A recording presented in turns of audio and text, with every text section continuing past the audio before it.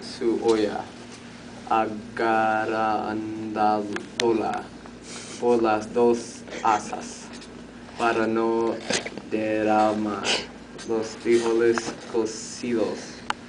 Cuando llegó a al carro, papá tendió las manos para ayudarle con ella. Roberto la puerta posterior del carro y papá puso la olla con mucho cuidado en el piso detrás del asiento. Todos subimos a la canchita.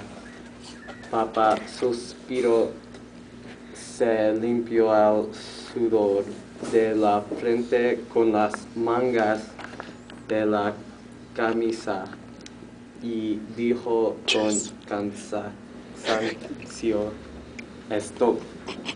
Mientras nos alejábamos, se me hizo nudo en garganta. Me volví y medí nuestra cochita una última vez. En la llegada a presa,